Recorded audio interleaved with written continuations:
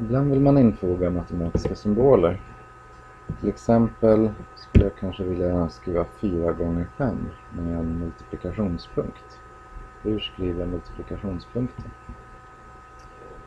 Jag kan välja infoga symbol.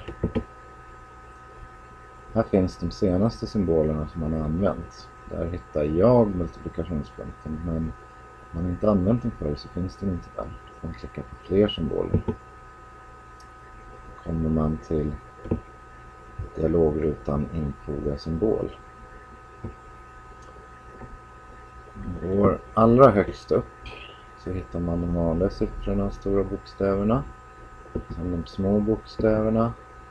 Sen bara någon rad nedanför de små bokstäverna så hittar man den här konstiga symbolen som är lätt att se.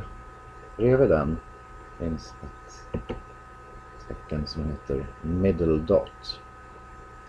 Man kan då infoga och sen stänga.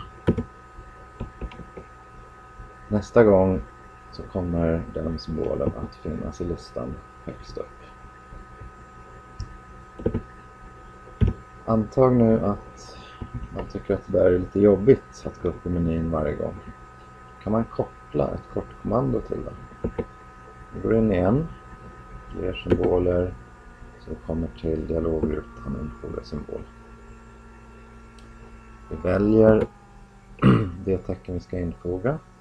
Så klickar vi på kortkommando. Här ser vi att det finns redan ett eh, kortkommando, kontrollpunkt.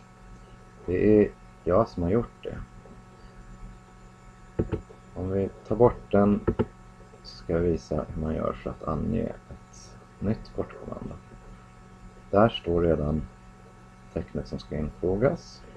Och här, på ange nytt kortkommando, så trycker man helt enkelt kontrollpunkt.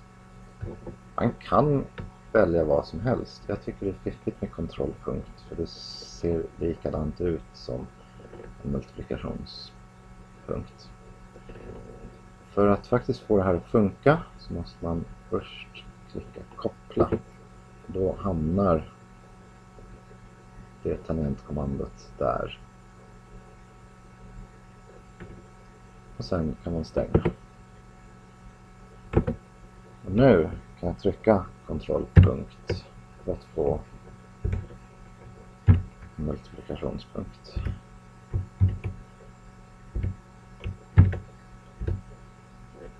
Så gör man för att infoga symbol.